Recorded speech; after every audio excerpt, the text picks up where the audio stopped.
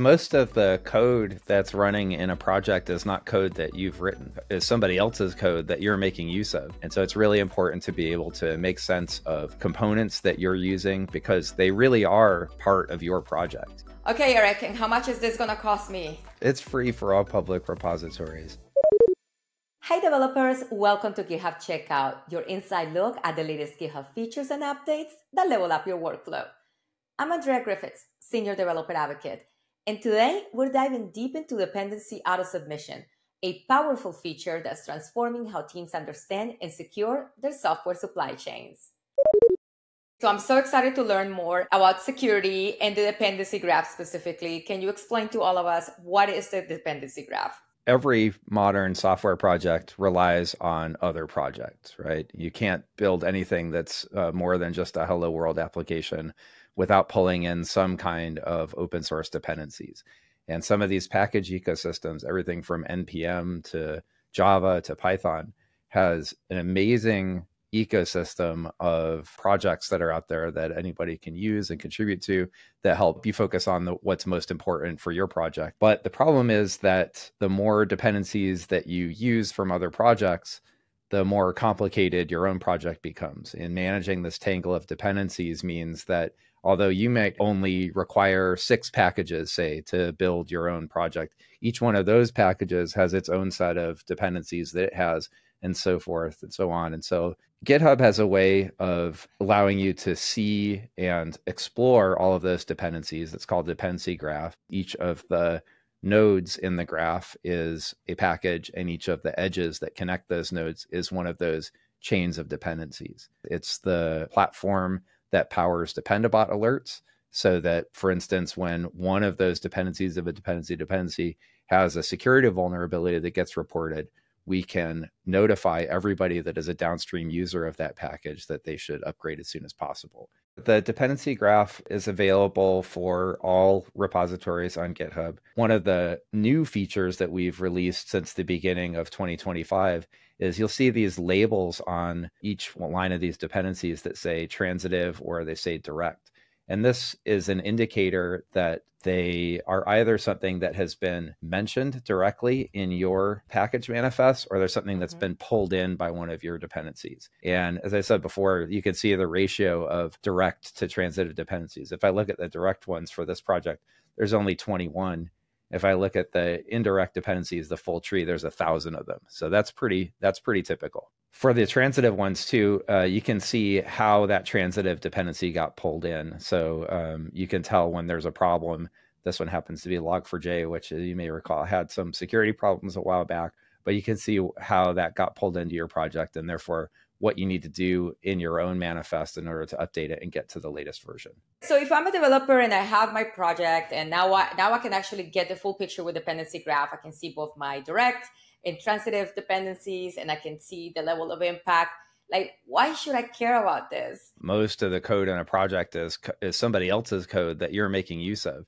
And while I as a developer may be a, a brilliant and perfect developer who never writes any bugs, in my code, I can't necessarily say the same thing for every developer on every open source project that I may make use of. This all falls into the category of what we call the supply chain or software supply chain. And while overall this is a massive force for good in the world, I mean, we wouldn't, none of us would be where we are today without the availability of open source software. Here, here. It, it also presents a significant risk, particularly if you're writing code for a business or you're writing code that has some kind of access to uh, secure credentials, has access to people's personally identifiable information. That supply chain is uh, long, it's big, and it and it's pretty fragile. And so it's really important to be able to make sense of the components that you're using because they really are part of your project. There's a lot of different package ecosystems out there, as many as there are programming languages, and even more because some programming languages have multiple different package managers that you could use. And there's different levels of support that we have for them. One thing I would point out here is that sometimes we can, just by looking at the files that are in the repository, we can build a full transitive tree. NPM is really good for that because the package.lock file shows everything that goes into your NPM package plus the version numbers that they're at. Other kinds of package managers require more introspection on how the how the software is put together in order to build that dependency tree. And for those, we have two options.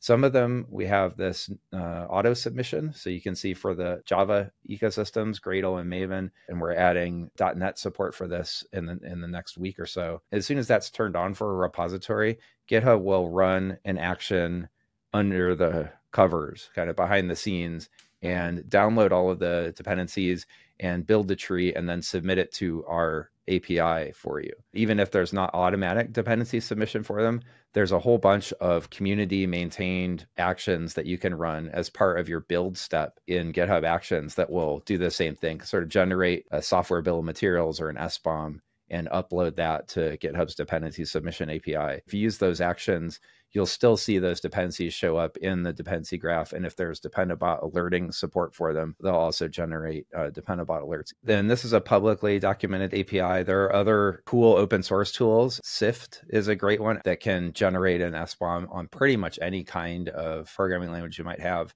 Now I'm inside of one of the Dependabot alerts. The Dependabot alerts also have information about transitive versus direct relationships. So you can see and prioritize vulnerabilities that are directly mentioned in your own package manifest or in your repository instead of ones that might be three or four nested levels deep. And you can see that here for this problem. There is an alert and it's pulled in. This this package is the one that has the problem. But I would know if I'm trying to fix this that I would probably prioritize getting into this and, and figuring out what's going on with this one and trying to update it less than ones that I would have that are in my direct dependencies. Because here I have to sort of wait for one of the maintainers of this intermediate dependency to update their own tree. Whereas again, if I go in here and filter these down to just the ones that are have a direct relationship to my package manifest, there's only five out out of that whole giant list that are ones that I actually need to fix in my own code. And it just really helps to prioritize what's important instead of having to wait for some external project to update their own code and update their dependencies. So, how can I make sure that I'm using this in my projects? Is there something that I need to turn on? Everything is consistent, and you have to go in and specifically enable it if you want dependency graph to be enabled. But it's right here underneath the advanced security part of your settings for a repository. You can also, if you're in an organization or in an enterprise with GitHub Enterprise,